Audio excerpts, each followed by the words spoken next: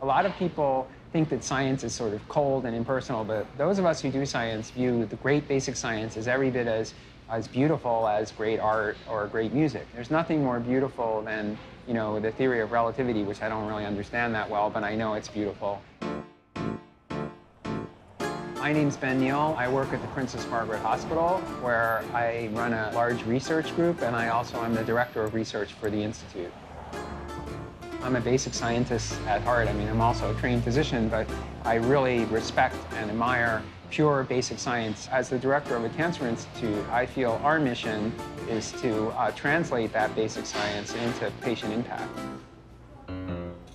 It's sometimes hard to imagine what's happened in just the short time that I've been in science. When I uh, started graduate school in 1977, we didn't know a single specific gene that caused cancer.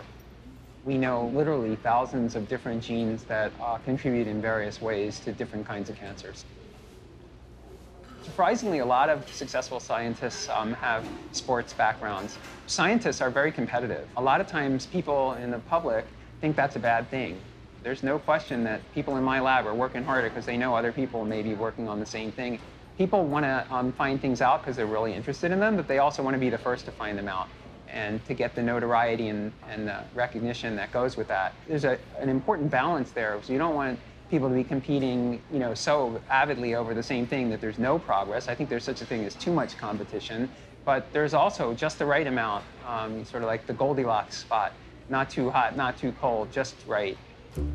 I was pretty much convinced by the time I went to university that uh, I wanted to work in cancer research. Cancer is a, a, very personal thing for me, but it's also a, uh, it's a really uh, important uh, basic biology problems. When I started in graduate school, we had been working on this idea about how a class of viruses could cause cancer. There was nothing known about cancer genes. By the time I started actually working in the lab, which was about three and a half years later, at that time there were five known cancer genes or oncogenes. My graduate advisor had this idea that uh, maybe these viruses would just integrate randomly in the genome and occasionally they would come to rest next to a cancer gene and turn it on.